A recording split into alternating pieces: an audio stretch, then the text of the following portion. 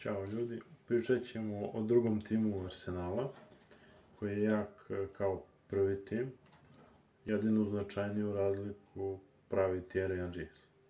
Znači, u drugom timu Arsenala na golu bi bio Siman, e, bekovi bi bili e, Ebue i Kliši, štoperi bi bili Tony Adams i Kion, onda na sredini bi bili Fabregas, Alex Song i Nasri. Iza napadača bi bio Denis Bergkamp i dva napadača bi bili Van Persie i Adebayor. Kada analiziramo ovaj tim, uglavnom svi su se dvoumili za golman, da li Lemon ili Simon. Ja sam u prvi tim stavio Lemona, jer Lemon je golman koji je mnogo hrabar, lud, si nažalost nekad znao da dobije kartone, žuti, crveni. Siman je isto dobar golman, ali on me posjeća na Barteza. E, ima kvalitet, ali napravi neku onako baš glupu grešku. Svi se sećamo, ne znam, svetskog prvenstva 2002. kad ga je Ronaldinho lobovao sa 40 metara bukvalno.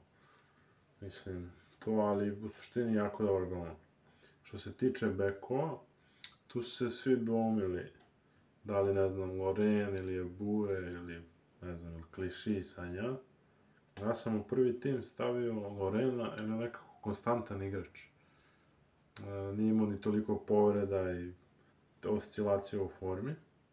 Onda na sredini, e, svi su pre rekli Fabregas nego Gilberto Silva.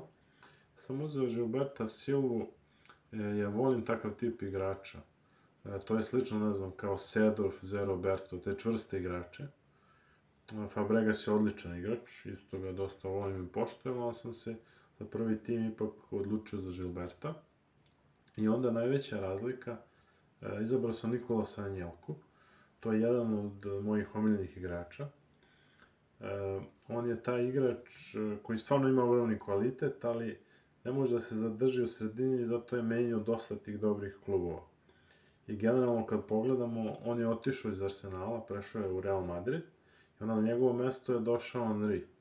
I kad se malo to pogleda, Anjelka je mogao da bude Henry u njegovoj poziciji, da bude bukvalno najveća legenda Arsenala. Onda, ne znam, Van Persijan de Bajor, a oni mi se nisu dopali, da su se nekako prodali. Prešli su u mančesterske timove, ono, to je bukvalno prst u oko za navijače Arsenala. Eto, to je neko moje mišljenje.